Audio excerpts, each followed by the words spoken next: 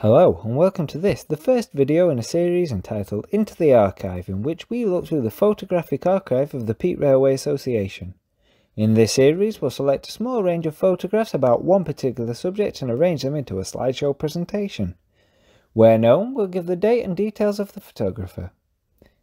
Our archive collection is built up of many photographs that have been donated over the years and, and they now enable us to show the history of the former Midland Main Line route through the Peak District from where it began in the early Victorian days to now as a heritage railway route operated by Peak Rail. To learn more about the Peak Railway Association, how to become a member and volunteer on the railway, please visit the links in the video description. Peak Rail has hosted many celebrities during its time, but perhaps the most famous celebrity to ever visit the railway was none other than locomotive number 4472 Flying Scotsman, and it's this visitor that forms today's subject.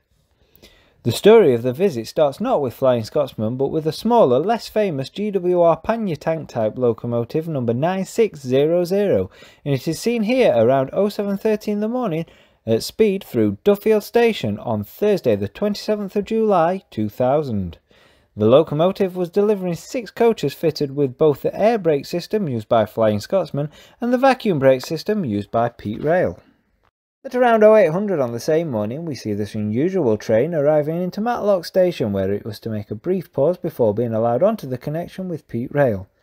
The reason for the use of this type of locomotive was restrictions on the types of trains and the weights of trains that could use the Ambergate to Matlock branch line imposed by the then operator of the national network, Railtrack.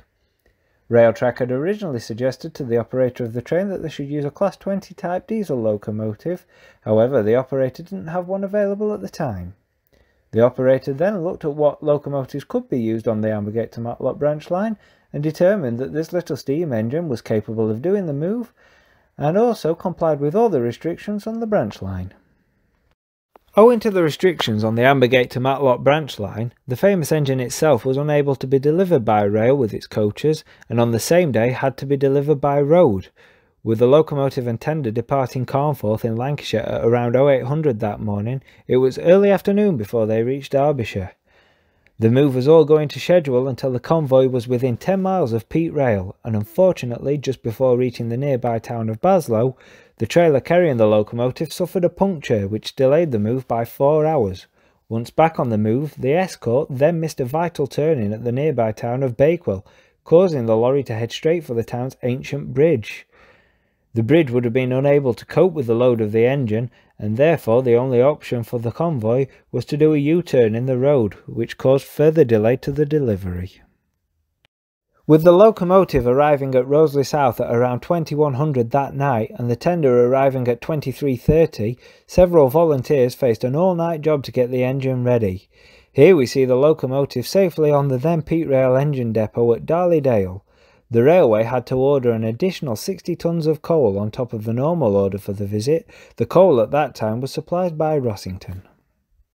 The day after the delivery, Friday the 28th of July was filled with testing of the locomotive to ensure all was in order. Here we see a driver at the controls of the famous locomotive, though sadly on Peak Rail not able to do the 75 miles per hour maximum as shown on the cab information above his head. Saturday the 29th of July was the first day of public running with the locomotive and the railway laid on some special attractions for the event including this steam-powered carousel and demonstrations by the steam-powered crane now owned by the Peak Railway Association. Due to a weight restriction on the bridge over the river just outside the then Peak Rail terminus of Matlock Riverside, Flying Scotsman could not use the bridge to reach the run-round loop at the station, meaning that the engine could not run from one end of the train to the other.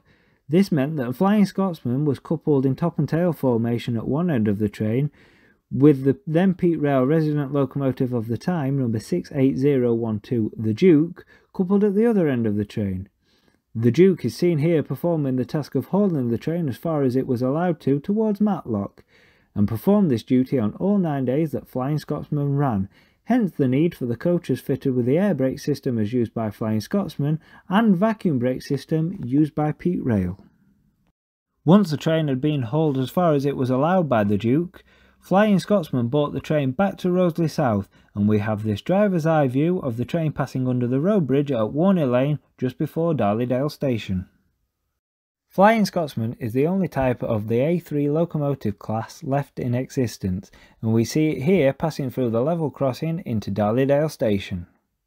The only other level road crossing on Peak Rail is at Church Lane between Darleydale and Rowsley South stations and we see Flying Scotsman having left Darleydale heading for Rowsley South passing over the crossing.